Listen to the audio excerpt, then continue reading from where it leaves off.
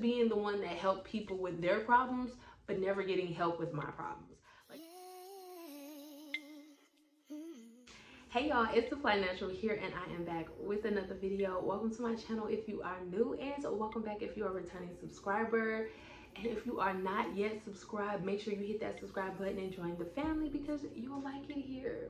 Okay guys, I'm not even gonna lie, this video was completely impromptu. Like I just decided to pick up the camera and record because I have a lot of thoughts on my mind. So if you guys haven't seen my previous video where I talked about changing my life in six months, you guys should definitely go back and check that out because y'all missing up.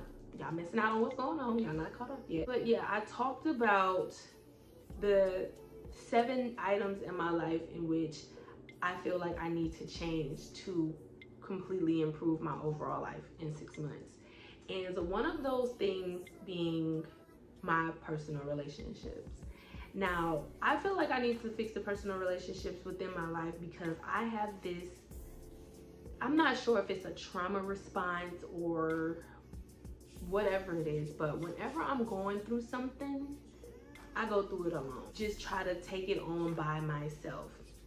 And so these past couple years, I've been going through so much stuff. So much so to the point where I've completely went into my shell and I haven't talked to a lot of my good friends. And it felt like I ghosted everybody, but I just was really taking some time to get myself together. And now that I feel that I'm getting myself together and that I'm at a place to where I'm able to reach out and talk to people, it's really hard because a lot of people don't want to talk to me or I'm not gonna say they don't want to talk to me, but it's just like eh, now they're looking at me sideways because it's like, girl, you just completely disappeared on us, and now you want to be friends and walk around like everything cool.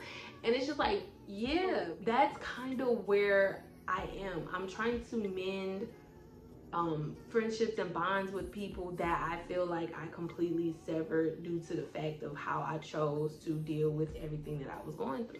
Now, shutting down and not talking to anybody and just evaporating from the face of the earth is not a good way to handle things at all, but that is all I know. When I deal with stuff and I'm really stressed out to the point of no return, I won't answer phone calls, I won't answer text messages, and if I do, it'll be in these little manic episodes where I'm feeling good for a moment and I agree to do something or whatever, and then I'll just completely flake because by the time the event or whatever I agreed to in that moment comes to pass, I'm just like, I'm not feeling that anymore. I'm still pretty much sad. So that has caused a lot of problems with some of my friendships. And I think it's time for me to mend that. Um, I took one step and I talked to a really good friend of mine um, the other day. Um, he was a good friend of mine from college. It was like one of my older videos where I went to Columbus when I was flight attendant and I went to actually visit him and our other friend.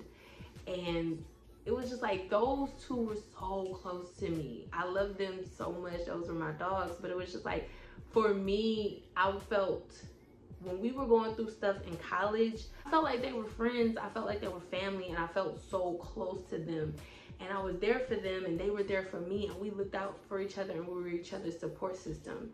But transfer, but leaving college behind and actually becoming a full blown adult and dealing with more adultier problems than the adult problems we were dealing with in college hit different.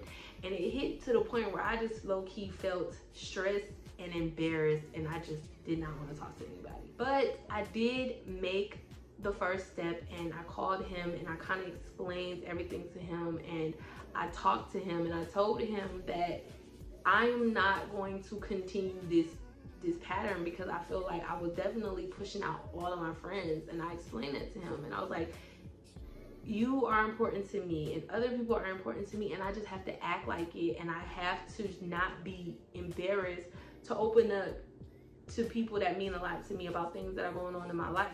Now, me being afraid to open up to people stems from me opening up to people and them letting me down. I don't think that that is going to be a response to things that I'm going to get over easily because it's been plenty of times where I've opened up to a friend and it just did not go well. So my first response to when problems and trauma and stuff happening in my life, I'm gonna try to deal with it first, and then I will reach out to my sister or my mom. But that is about as far as I would go. But now it's just like I realized that I really put myself through a lot more than I had to because I didn't utilize the fact that I had a great support system around me. I didn't utilize it out of fear. I didn't utilize it out of embarrassment.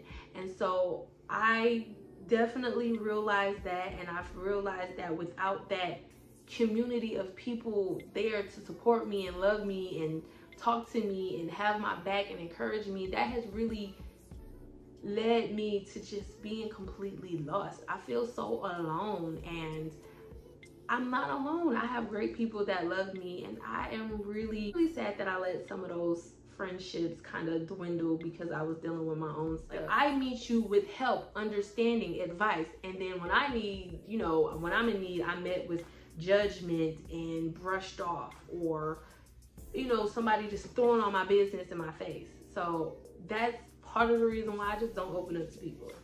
And I realize you can't do that. You can't do that, especially with the people that you love and the people that love you. They're gonna be there. They're gonna support you. They're gonna love you. So open up your mouth, let them know what's going on, and stop being afraid to use your community. But I'm here to repair them.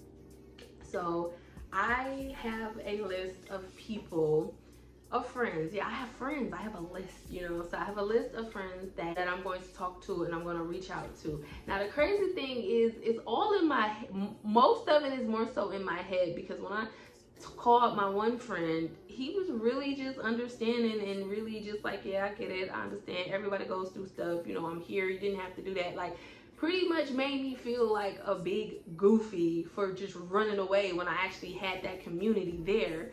But like now I was like, I get it. I get it. I'm sorry that that's just how I handle things, but shoot, that is that's all I know. So I'm gonna definitely reach out to my friends and you know explain things to them and talk to them and catch them up with everything that's going on in my life and mend those relationships and get my people back because I love y'all. Because I definitely feel my missing community now, especially with me being in a whole nother state. I don't have any friends, I don't have any family. It's just me and my family, me and my children, you know, it's hard. So I definitely miss my friends, I miss my community, and I want to build it back. So yeah, but let me know if you guys have dealt with something similar to this or or if what I'm saying is something that's resonating with you. Because I only have one other friend that handles stuff like this. So we're like here, we like I'm still here, but I'm just not here right now type thing. And I'm I'm saying this for everybody that needs to hear it. If you're going through something like me and this form of self-isolation and handling everything on your own, if this is what you do to cope, please don't. Please try to find at least one person, at least one person that you can really trust and be vulnerable with and open up to them because it will really make a world of difference because honestly if i would have been more open with my friends i probably wouldn't have been so far into my situation and a lot of things i could have got more help with and more clarity had i had those outside people helping me so that's one thing that i really regret so don't be like me open your mouth and i know it's hard but we got to do this so yeah so that's all I have for today's video, you guys. Let me know what you're thinking down in the comments below. I look forward to reading your comments and don't forget to like the video and subscribe to the channel if you're not already yet subscribed. And I'll catch you guys in my next video.